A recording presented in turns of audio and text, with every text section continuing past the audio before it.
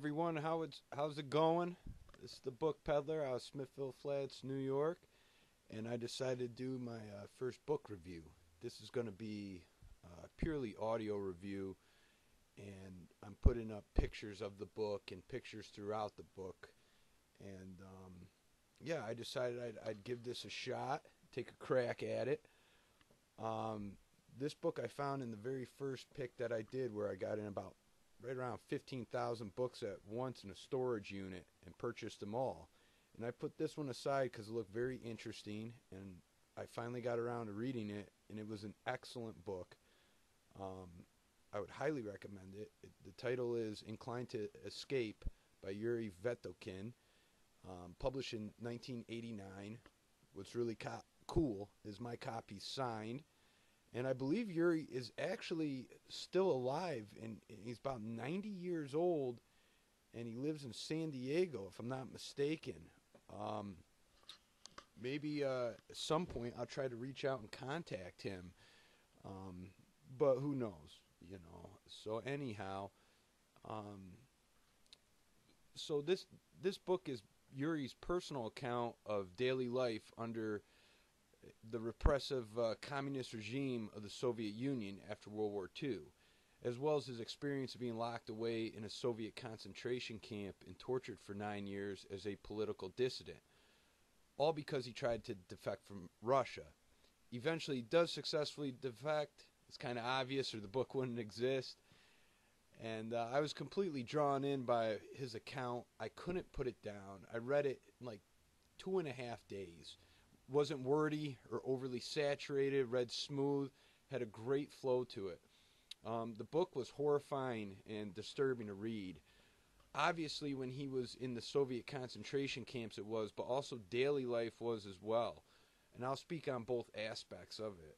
Um, to me, it was a miracle that he wasn't completely mentally damaged by daily toxic inject, injections and torture for years on end. He exhibited extreme mental discipline and fortitude, focusing his energy on staying alive and planning his escape. His faith in God and strong will helped him maintain some semblance of sanity when most would succumb to defeat. Yuri was declared clinically paranoid and insane by the Soviet doctors because he tried to leave the country.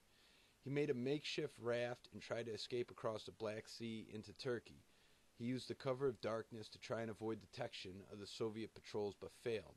Years of planning were crushed. Yuri was in no way insane. He was a former naval officer, a highly intelligent and publicized computer engineer, an inventor, a literary aficionado. He wrote and recited poetry, played chess. He did not drink nor get involved in, all, in the all encompassing black market that exists in all communist countries, where supplies are scarce, and in order to survive, many have to turn to crime to make ends meet where the state controls the economy and the pay of individuals, even as a high level computer engineer, he wasn't making enough. He was literally living in a kitchen for years on end.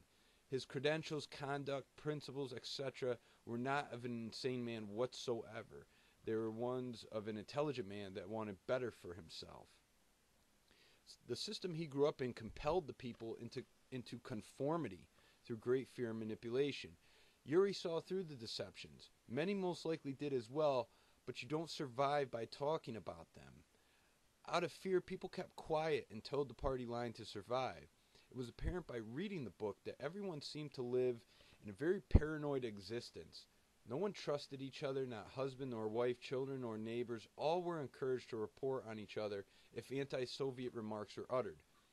The Soviets would even plant agents in the prisons and in society in general to extract information. Nobody ever really knew who they were talking to nor their motives. The communists' complete control over the political, societal, and economic mechanisms of society kept the people with their eyes to the ground and hearts and minds shackled in bondage. Everyone was a suspect in this system that feeds on its own. In reading Yuri's experiences of daily life, it was apparent that in order to survive under the, this repressive regime, one would have to pretend or try to convince oneself that their current physical and mental state was that of a pleasant existence, or at least it would help if you did maintain that type of attitude. if somehow your mind broke through the conditioning and indoctrination fed to you by the state, it would be beneficial for survival purposes to train yourself to accept the circumstances you are in. The personas exhibited by the majority of people Yuri writes about in the book seem disingenuous and shifty. You couldn't have an authentic conversation with anyone, it seemed, nor share inner thoughts. People avoided them and acted as if everything was fine when it clearly wasn't. So I kind of thought of an example to illustrate better my observation of what he was writing about. And I hope it's uh, I hope it's sufficient enough in conveying to you the general population's outlook, which to me was one of uh, defeat and despair compared to Yuri's outlook. So the example was kind of uh, someone who, who doesn't have a pair of shoes and is given an old leather pair, and the shoes are too small, they're inadequate. You just have to stuff your feet in them. They have little nails that maybe poke at you. Um, they prick your foot when you walk. And so the Soviet minded person accepts this discomfort given to them by the state. Um, they have their shoes, they act overly exuberant. Um, granted, it's great that they have a pair of shoes and their feet are protected um, for the time being. Of course, as time progresses, it will destroy your feet, but they act happy and uh, they accept it for what it is. Now, Yuri's attitude is more something along the lines of, yeah, he accepts the free handout, but he's not impressed with the conditions of the shoes, and, and he wants a better pair. He wants them to fit comfortably, because um, in the long run, those shoes are going to mangle up his foot and cause cause damage. So he's not comfortable nor satisfied with accepting the status quo and what is given to him. He wants better and doesn't act like everything's all right just because he has the shoes.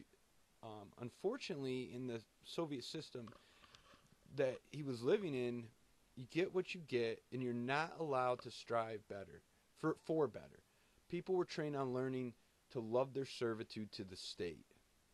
So, for Yuri, in order to survive daily life in general, he had to quiet his restless mind, um, lock his inner thoughts away. If he didn't, it would only be a matter of time before he would have been ratted on and found out. So, like the, the free shoes, just accept them, shut your mouth, keep your thoughts about them to yourself, and get along. Okay, get along with it. Um, there were a few exceptions, however, where he had some room, although limited, to engage in dangerous discourse. In the general population, it was with fellow writers and poets. In the prisons and mental wards, it would be with other labeled political dissidents. Uh, still, there was always risk involved. I'll talk a little more about Yuri's observations on the general public and the operation of the communist system as a whole towards the end of this review when he's released from the mental ward. Um, what was clear was during his sentencing, after his failed escape, was that the court system was set up so that no one could truly be able to defend oneself. Anything the Soviet Russian government may have publicly signed on the world stage, such as international human rights treaties, for instance, was all for show. It was never abided by. One had no ability to defend oneself, and when you are eventually locked away, your natural rights are obliterated. You have no control over what happens to you. And it doesn't matter if you don't consent to be injected with chemicals or was somehow ruled in your favor not to receive them. You are going to receive them anyways.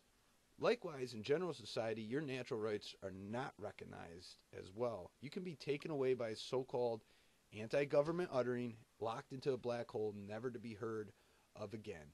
Uh, defense of oneself is truly not an option in this system. So, Yuri's inquisitors were some of the most vicious psychotic personalities encountered in the book. It was kind of hair raising. Um, they knew he wasn't insane, and they relished in locking him in a mental ward. The nurses, as well, were completely perverse and demented. They all got off on having unrestrained power and dominance over others. Uh, to me, beauty to this type of person was hearing someone beg for their life. They relished in the pain of others, enjoyed seeing slowly break down physically and mentally. Beauty to them was seeing someone being strapped down on a table against their will, and slowly, methodically moving toward them with a needle. The victim's eyes widen and strain in horror. The nurse's thin lip smile spreads across their face, softly explaining to the victim that they are helping them. It was like watching a horror movie.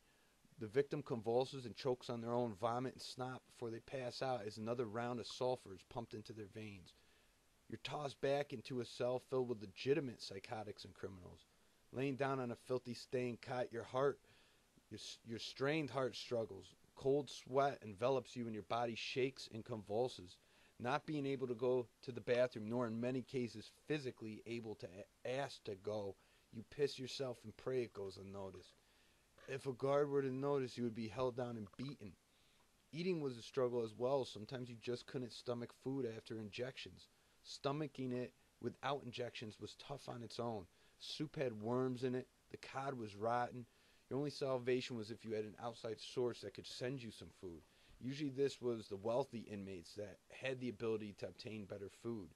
In either case, if you did not eat, the guards would shove a tube down your throat and pump food into your stomach. It, it was a disgusting show filled with sadistic personalities. Um, Yuri would be injected a countless number of times with toxic chemicals, be it insulin, sulfur, aminazine, or a cocktail of sorts. The nurses tried to kill the man's spirit. They wanted him to confess about his escape and how he was able to get so far, as well as ray on others that may have helped him in his failed efforts. Sometimes they would induce him with an agent, a type of truth serum called Barbamil, to get him to talk. Fortunately, it did not have an effect on him. The nurses called the treatments, quote, reindoctrination by medication. They wanted him to confess that he was mentally ill and said he would be released. They constantly played games with his head. One thing that was interesting was that the guards, which were called orderlies, were actual convicted criminals, some for murder or theft. One guard, in particularly, murdered his whole family. Of course, his case was a form of temporary temporary insanity. Of course, he would have been full blown insane if he tried to leave the country like Yuri. But they made sure the inmates were kept in line the, the so-called mental patient inmates, and they would beat and torture them if they weren't. There was much corruption in the prison system and mental ward. It was definitely a reflection of life on the outside. That was uh, that was being uh, the inside was a reflection of the outside. So, so here's a quote. The corruption which gnaws away at the entire Soviet governmental machinery is more blatant in the prisons than anywhere else. Every service in the special prison had to be paid for. If you wanted to go to the toilet, you had to give the orderly a tin of canned food. If you wanted to smoke, the same thing. Those who had nothing found life a hundred times harder in a Soviet prison than those who had money and food items. So the orderlies all stayed in separate barracks, where they had radio, better food, and more general freedoms within the walls than the so called mentally ill patients. After a few years, when the nurses were off duty, Sometimes he would be let in the orderlies' quarters and he would play chess and listen to the radio. This only temporarily would improve how he was treated by some of the guards. Everyone knew about 20% or better of the inmates in the Site concentration camp were not mentally ill. It did not matter, however, when orders were given or you made an orderly mad for a minor offense, you were dealt with brutally. What was amazing me was how some who were in Yuri's prison for being labeled political dissidents still adamantly professed their support for the Soviet communist regime. They seem to suffer from a learned helplessness or a form of Stockholm syndrome. Uh, both are psychological terms. Um, it's kind of where they grew to love their tormentors and abusers. Um, regardless, the political dissenters were always the ones that received the harshest punishments and were the most medicated. Their stays were always the longest. Yuri, however, continued to flesh out and escape during this time. In one part of the book, Yuri tells of how the nurses continued to tell him that they are curing him and keep telling him that he is in a hospital and not a concentration camp. Yuri retorts by saying, You're curing me in the same way the American bombers are curing the North Vietnamese communists. After this statement, the injections increased and he ended up having a heart attack. Yuri would periodically be called in for evaluations and after his last comment to the nurses on their treatments to cure Yuri, he was severely tortured for another year until his next evaluation. Yuri maintains he is in no way mentally ill, which brings a rage upon the head nurse, as she says, quote, Yuri Alexandrovich, you're not surrendering to the treatment. You've already received a great deal of medication, but you talk and think as you used to. We not only require that you begin talking differently, but also that you think differently. You must like what you used to hate and hate what you used to like. You have to change your personality. Until you change your personality, you won't be released from the special hospital. This was an amazing part of the book. Um, really shows the underpinnings of these people's mindsets. They knew this guy was in no way insane, and they're trying to force him into believing he he was basically admitting he was, but they could not convince him. Uh, treatment continued on for, for Yuri. He'd hide the pills he was supposed to be taking. Of course, if caught, he'd be punished. Injections would start up again, and he'd be beaten on. But sometimes the nurse would overlook it. Um, he counted in six months of hiding pills that he spat out 16,410. That's amazing. I believe that equates to something like 10 pills a day. My math isn't good, but incredible number there. Uh, Yuri writes about the doctors as a whole after witnessing a murder by a nurse, which I'll, I'll paraphrase. Quote, officially they are called doctors and nurses, and when they are called executioners, they are offended. Outwardly, they do not look like executioners. Outwardly, they look like everyone else. They dress the same, some tastefully and elegantly, and others less so. They have the same concerns as other people their home, children, retirement. They even have the same passions, love and jealousy. They love flowers. Bokovskaya, let me see, Bokovskaya, which is one of the doctors, has fresh flowers on her desk year round. They all have clean, sometimes even scented hands. Their hands are never smeared with blood, as we usually imagine executioners. Who are they, really? Ordinary people or contrary? Demons?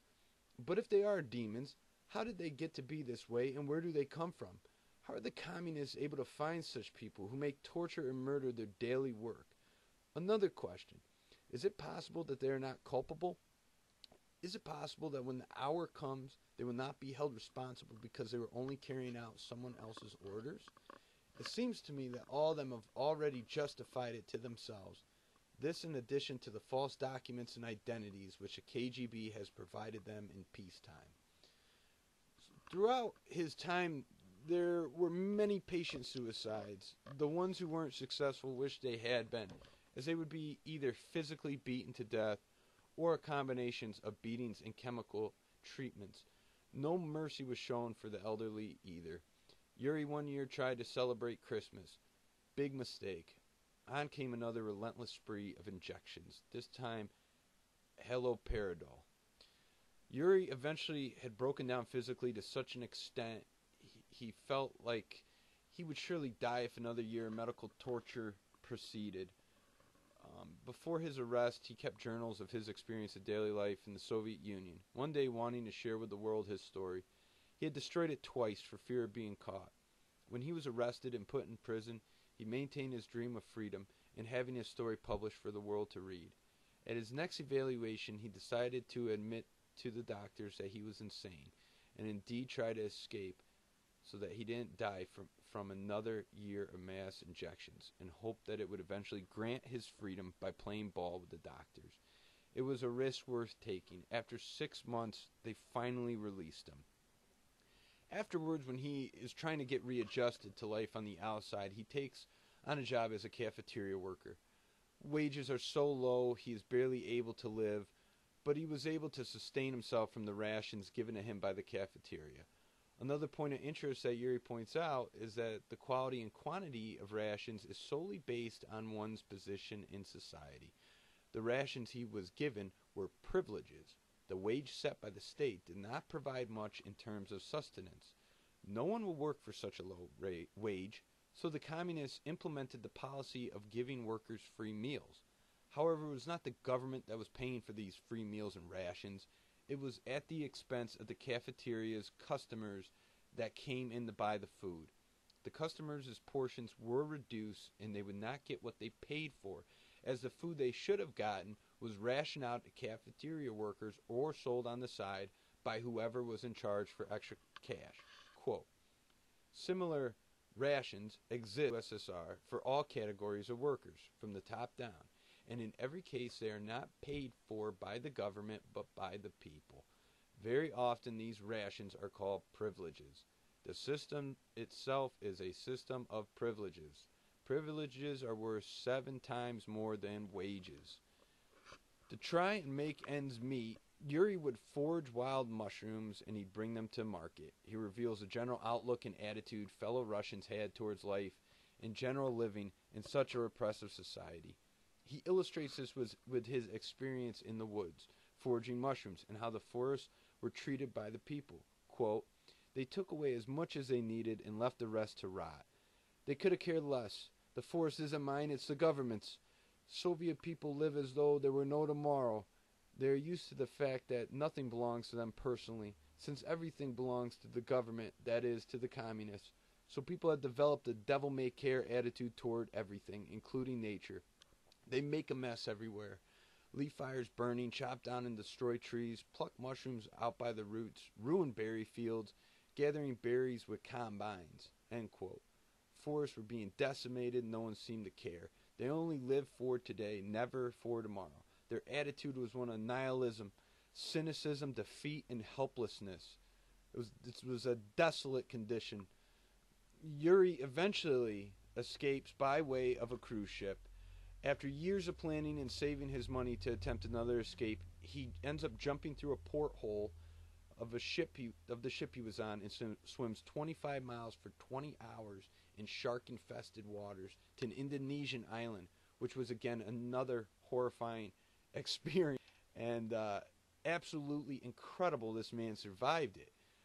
Um, so he successfully defected, and he wrote this book for all to know about the inner goings on, the behind the scenes look of, of how uh, Soviet Russia was run by the communists.